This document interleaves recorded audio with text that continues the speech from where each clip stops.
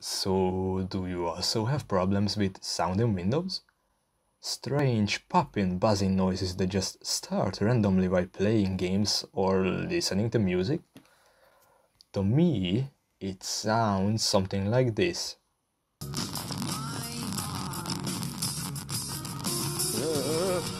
Oh, no! No!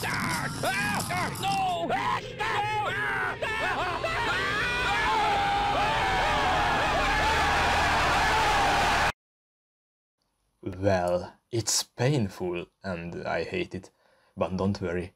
I think I found the solution and it's not even hard to do. First, you should install Process Lasso. This small program simplifies our work quite a bit, and you can also improve the performance of your computer with it. In the past, without this program, I didn't even have 50 FPS in CSGO. This is what you will see when you install it. It's a Windows Task Manager alternative, and it can be used for a lot of things. But today, we are going to fix your sound with it. I hope at least. Among the running processes, you should find this little thing called audiodg.exe. Right-click on it and make sure the CPU priority is set to high.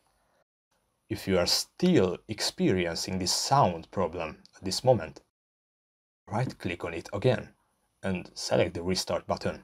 That should fix it. If you experience this problem again, don't forget this solution.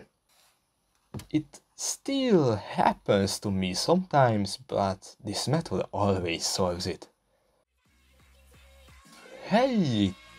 Thanks for watching this video.